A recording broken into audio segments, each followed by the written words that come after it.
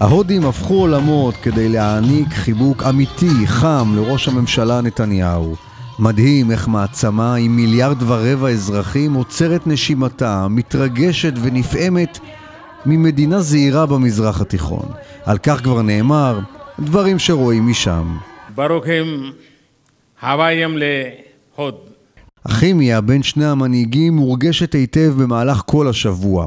מודי לא עזב את נתניהו לרגע, קיבל אותו באופן חריג כבר בשדה התעופה וליווה אותו בכל פגישה.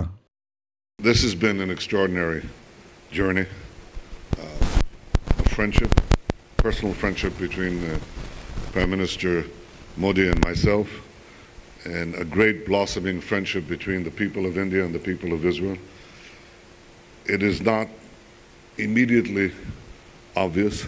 ויש גם תוצאות מעשיות לביקור הזה.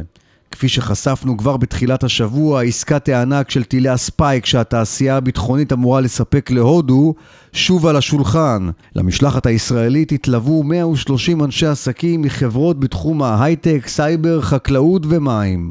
נחתמו כמה הסכמים בילטרליים, ואפילו סוכם על הפקה קולנועית משותפת, ישראלית בוליוודית. העסקאות האלה שנחתמו יכניסו כבר בטווח הזמן הקרוב מאות מיליוני שקלים לקופת המדינה, וכמובן יתרמו לתוספת משרות בסקטור הפרטי בעיקר. Room, there are some of the most talented and successful CEOs from India and Israel, and you got here because you're great competitors. My message to you is never stop competing, because competition benefits us all. כמה אתה משה?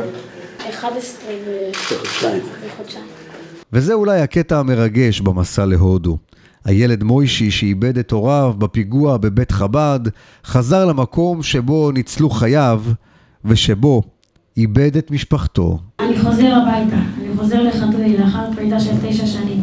זה מעמד חגיגי זה, אני רוצה להודות לקדוש ברוך הוא בשם מלכות. ברוך אתה אדוני אלוהינו מלך העולם, שעשה לי נס במקום הזה. אמן!